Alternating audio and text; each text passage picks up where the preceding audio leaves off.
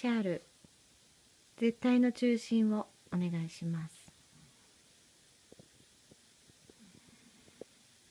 無限大なストーン遥か彼方。無限の無限の彼方から。全方向から全ての全て。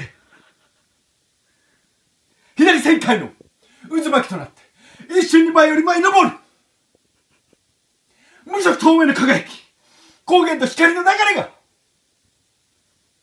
表を通って無限大が無限小となり裏を通って無限小が無限大となり絶対の中心へ戻っていく。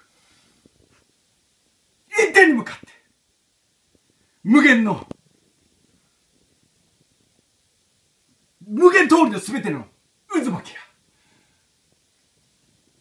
一点に向かって降り注ぐ。瞬一瞬新たに降り注ぐ無限通りの。